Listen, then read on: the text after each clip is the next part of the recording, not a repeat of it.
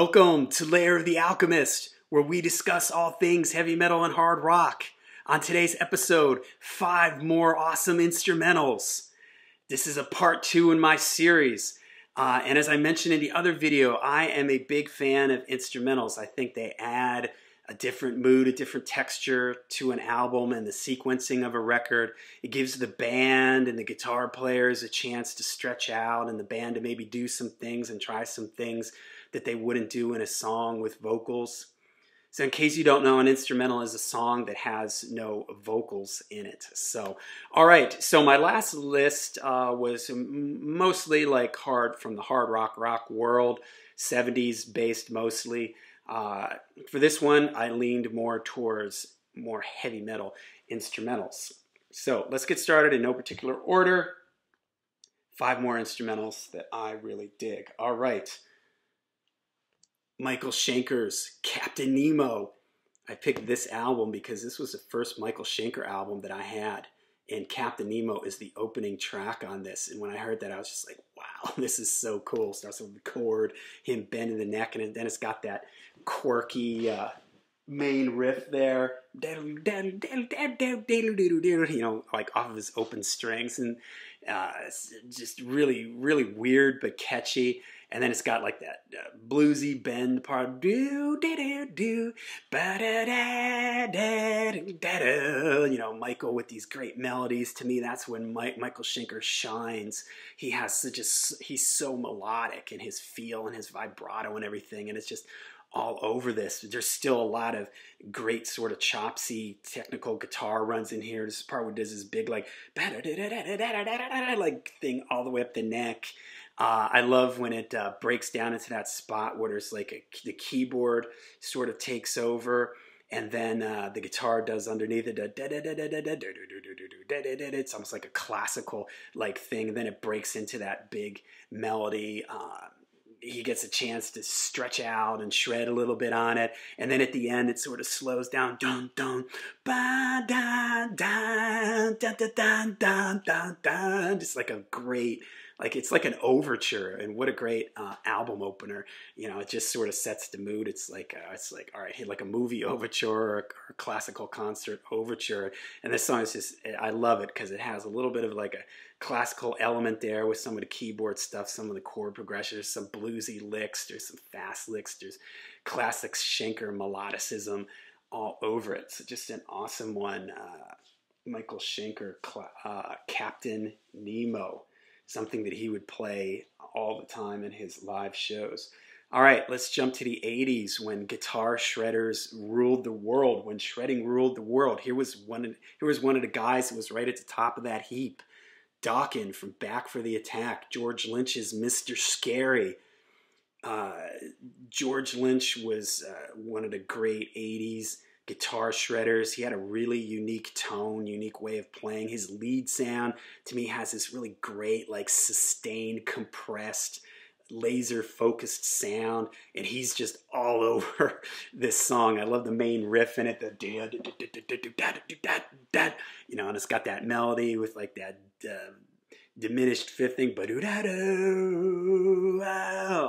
and I also love the drums in this. The drums are, are doing like these, funky things. These hits, and there's like some, I don't know if they're rototoms, timbales or something. Do the thing. It's got all these changes, and this is just, this is really a showcase for George here. He shreds all over this. George's lead playing is really unique. He has his own sound and sort of his own style, and he's all over this. I don't know if he had the nickname Mr. Scary before this it doesn't matter because he's he's all over this and it just makes total sense because his guitar playing is scary on this song. And this would become a trademark song for him that he would play in his solo bands and play afterwards. And in the 80s when guitar shredding was at its zenith here this was uh, you know, I this really reminds me of the mid '80s when this stuff was really, really popular, and you could do something like this on a on, with a band like Dokken. That was a pretty commercial metal hard rock band, but you could put an instrumental like that on there, and it just it made sense. It worked, and the fans wanted to hear that stuff because that was a big thing back then. Your guitar hero in your band, and George Lynch was one of those guys.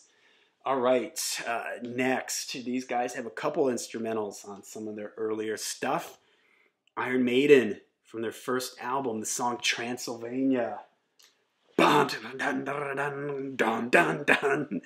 It's great. It's like fast and aggressive, new wave of British heavy metal, super tight, dialed up to 10.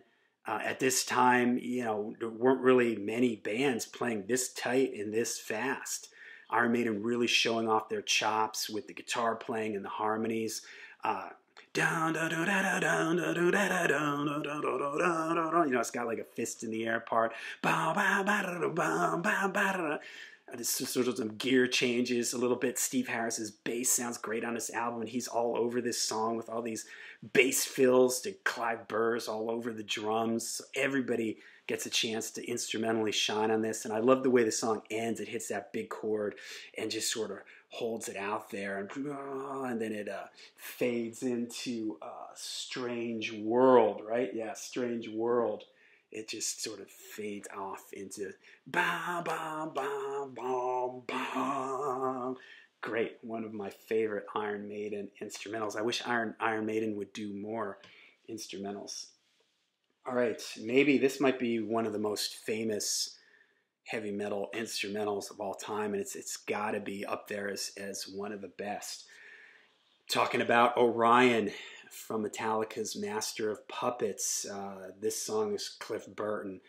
Uh, he's all over this. He wrote wrote this. Uh, all it's it's just awesome. It's got all these different changes, different sections to it. These distorted bass solos. I love the part where everything drops down and he's doing the do da da do da da do da do and those guitar harmonies come in.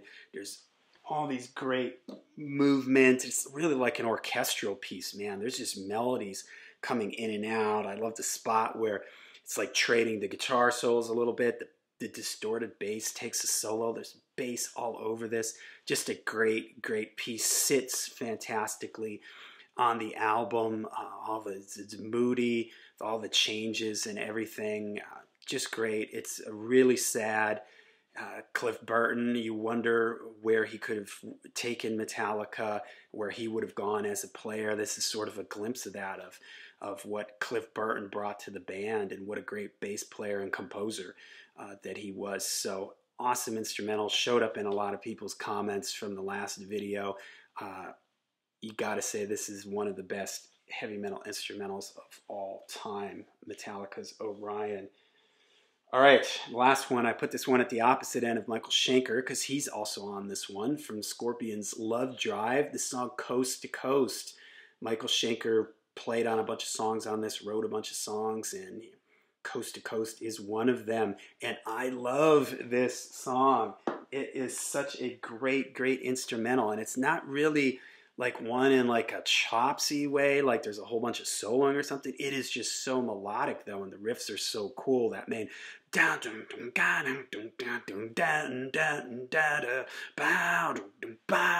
you know.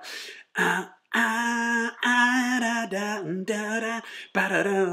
that part is just great. I love that. I, you call it like the it's really structured like a song. You have the verse part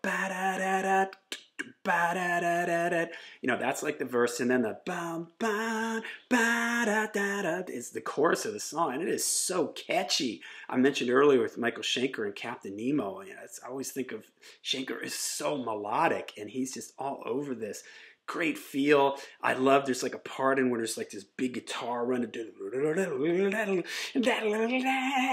you know, building up like that, and the you know I guess would be like the guitar lead in this Did he does it. It's oh man, it's so melodic. It just it sends a shiver up my spine. I love the feel of the song. It's sort of slightly held back, and it has this nice sort of groove to it. It's a little bit atmospheric. Just an awesome, awesome instrumental. So, all right, there you go. Five more cool instrumentals that I really like, leaning a little bit more towards the heavy metal side of things. Uh, let me know what you think of these instrumentals. Uh, let me know. You've given me a lot of great suggestions in the other comments section. Keep them coming because I'm going to do some more videos. I've got some more lined up. Uh, let me know what you think. Uh, make sure you hit like and subscribe. And until we see you again, make sure you stay heavy, stay metal.